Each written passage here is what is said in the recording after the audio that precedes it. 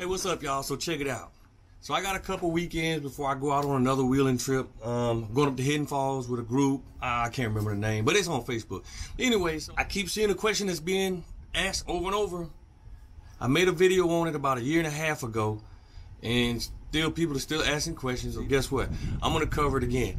Now, one of the main reasons I'm covering it again because there's been a lot of updates since a year and a half ago. That's how technology works, right? And because of the updates, that means changes. And because there's been a lot of changes, there's been a lot of products thrown out there that I think everybody needs to be aware of to help you out in this process. I'm gonna hook y'all up.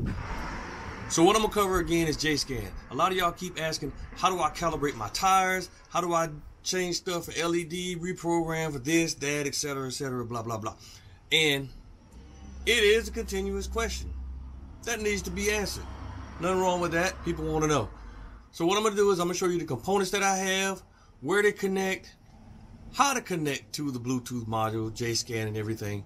And then I'm going to show you some of the features. Not all of them because there's a lot. And then you can decide. Cool? Cool. Let's go. Now to get hooked up on JScan, there ain't really but three things you need. Actually four, but that fourth one you don't really need, but it'll help. And I'll show you what that is, because you want to save these bad boys right here, just in case. Now, the three things that you really need though is a cell phone, which could be an iPhone or Android, doesn't really matter. You want to have the SGW cable, which stands for Secure Gateway Cables, and you want to have the Bluetooth module, OBD adapter. And I'm going to show you all of them.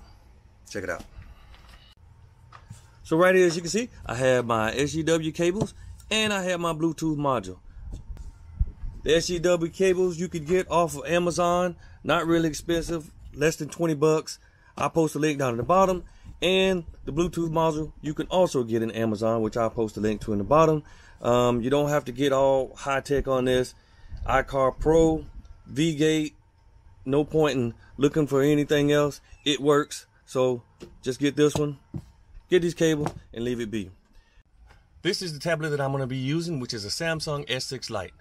It's got a huge screen, easy to see, no problems. But you can use a cell phone.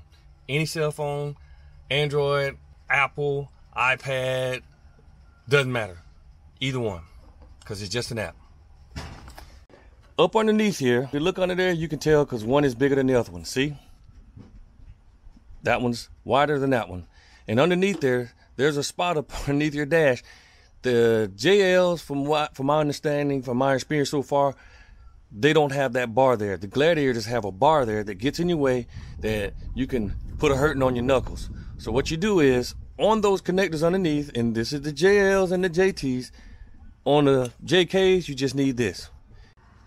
Any Chrysler vehicle that's newer than I would say, I think 2018 uses these. You might have to look it up, do some research, but anything newer. Um, you can use it on, once you get the JScan app, you will see you can use it on all Mopar vehicles. Now, what this would what would happen is you take these two, you plug them in to the connections up underneath. There's two connectors already connected there, and you disconnect those two and you plug this in place. Then what you do, you take Plug your OBD Bluetooth adapter into these and you're connected. Now, there's a reason I showed you this first and not showed you the cables.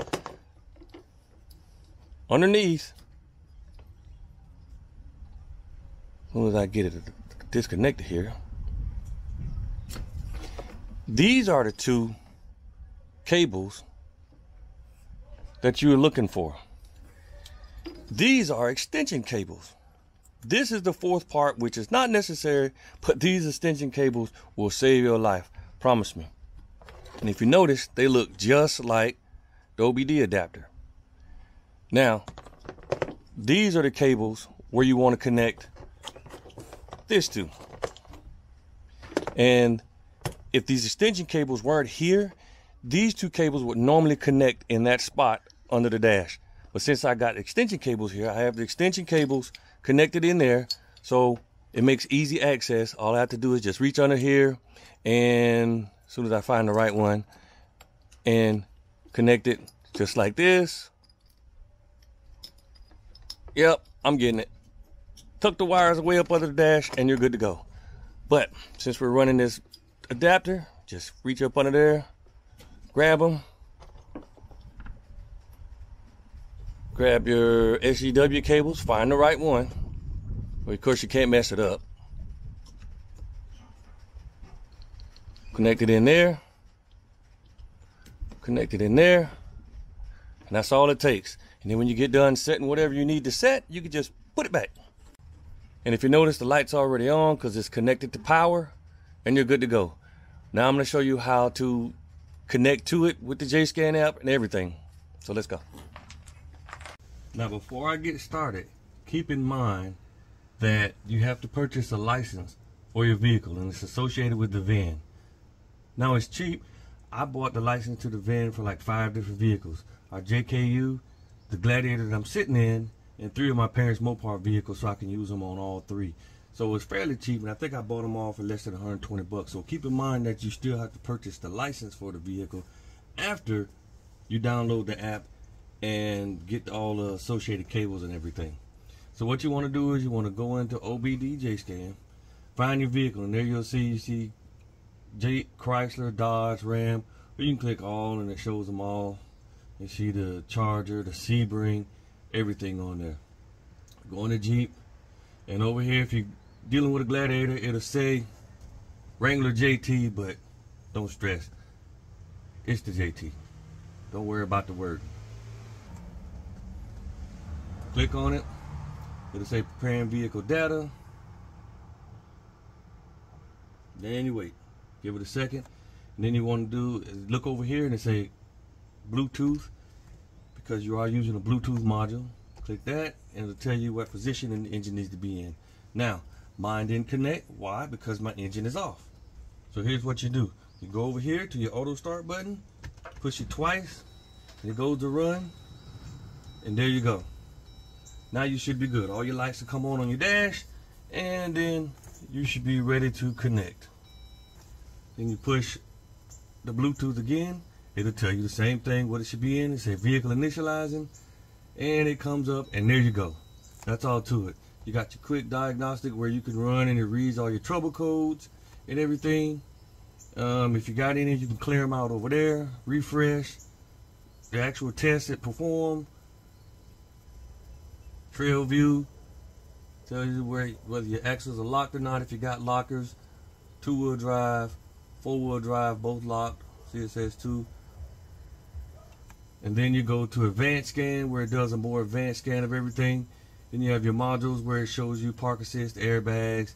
I mean you can read it for yourself when you actually get the app. It shows the instrument cluster um, everything. Blind spot sensor.